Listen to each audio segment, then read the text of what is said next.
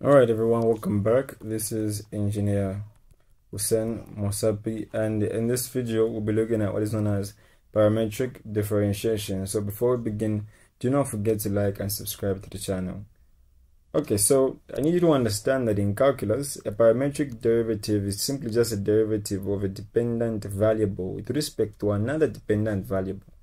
It is taken when both variables depend on an another independent third variable. Might not make sense by first glance, but what I'm trying to illustrate is that let's take for instance, instead of us just having, say, y of x being defined explicitly in terms of the independent variable x, it can also be defined in terms of both x and y. But in that case, it will be defined both in x and y in terms of a third variable which will be regarded to be let's say p s or t. These third variables are called the parameters. Thus having parametric differentiation. Now the best way you can understand this is by us looking at some examples. Let's take for instance, we have the following examples. Let's say example 1 says that it's given that given that x is equal to 8 plus t squared and say y is equal to 4t squared minus 5t to the power 4. We have been asked to find say dy over dx the derivative of y with respect to x. So all we have to do is simply look for the dy and the dx. Now, for the dy, I'm going to get the equation that has y, which is y being equal to 4t squared minus 5t to the power 4.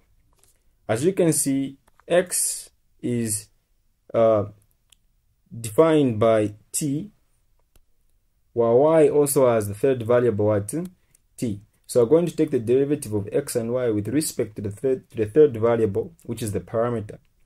So I'll say dy over dt is equal to 8t minus 20t squared.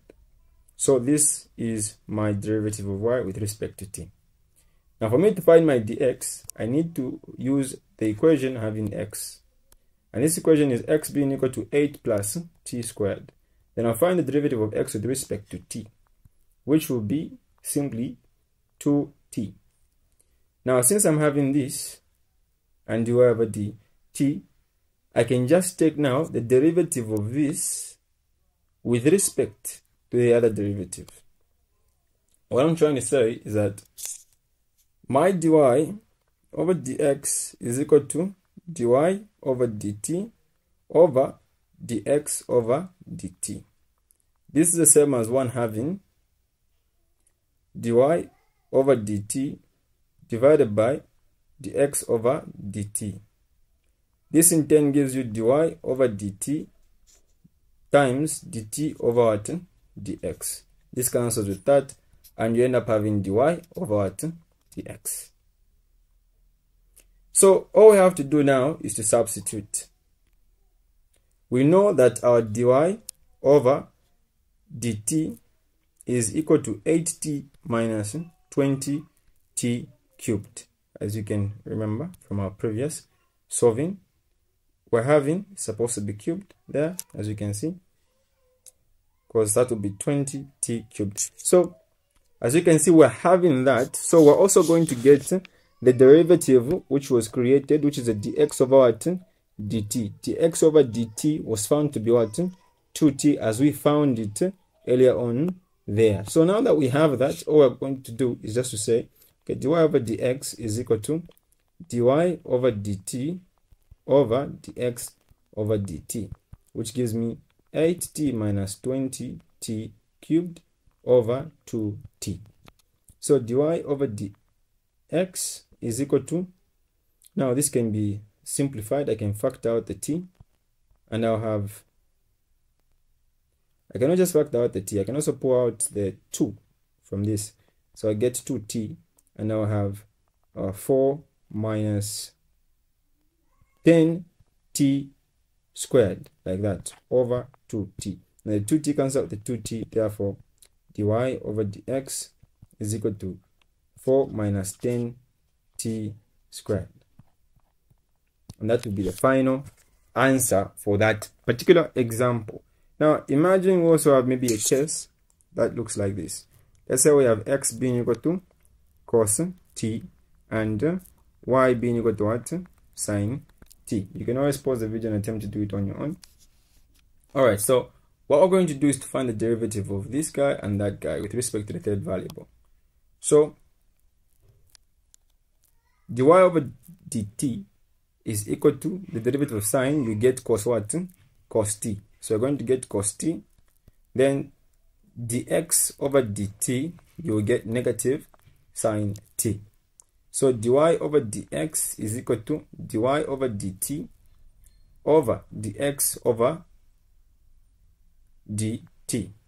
This in turn will give you cos t over negative sine t. And this will be your final answer. Now, if you want, you can say dy over dx is equal to negative cot t. Because cos of a sine is cot. Now, for the third example, let's say we have this case. Say we have x is equal to t cubed and y is equal to t squared plus 4. You can always pause the video and attempt to do this on your own. So for our y, we're going to say t squared plus 4, then look for dy over dt, which will give us 2t, like that. Then for our x being equal to t cubed, we say dx over dt is equal to 3t squared. Then we know dy over dx is equal to dy over dx over dx over d, sorry, dy over dt. Over dt dx over dt t. And this will be equivalent to dy over dt was 2t found there. Over dx over dt which is 3t squared. So this will basically be 2t can put the t and have the 2 there. Can put another t there and have the 3t like that. So t cancels with t. You can say dy over dx is equal to 2 over 3t like that. All right i hope it's clear. Now in in some cases we might also have different type of uh, scenarios. Let's get the last example. Say we have x is equal to te to the power 2t and y is equal to t squared e to the minus t. Now, let us find uh, these separately. Let's start with x being equal to t e to the 2t. So dx over dt is equal to the product rule, where we say a prime b plus b prime a. If we do up data, we know that a is equal to t, so a prime is equal to 1 b is equal to e to the 2t so b prime is equal to 2e to the 2t so dx over dt is equal to a prime b. So 1 then b e to the 2t plus b prime which is 2e to the 2t b prime a which is t like that. So dx over dt is equal to e to the 2t plus 2te to the 2t. And that's the derivative of x with respect to t. Now, once we have the derivative of x with respect to t, we can now find the derivative of y with respect to what? t. So we know we have y being equal to t squared e to the minus t, like that. So dy over dt is going to be equal to a prime b plus b prime what? a can do up a data and look for a. a is equal to t squared. So we say a prime is equal to what? To t. then b is equal to e to the minus t so which means that b prime is equal to negative e to the minus what t then we can substitute by saying dy over dt is equal to we substitute sorry about that we substitute we'll end up having 2t then e to the minus t plus b prime which is minus e to the minus t a which is t squared. So you have dy over dt being equal to 2t e to the minus what? t minus t squared e to the minus what? t. So this is basically your derivative of y with respect to what? to t. Now once you have the derivative of y with respect to t it will be uh, very easy to plug back in what you need to find. So what we'll do is just plug back. So dy over dx is equal to dy over dt over dx over what?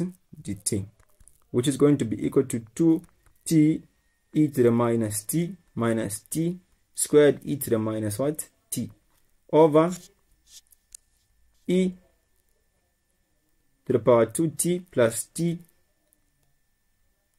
It's a 2t e to the 2t like that. So that would be a final answer. Basically that would be a final answer. As you can see. All right so this is how you literally go about solving these questions.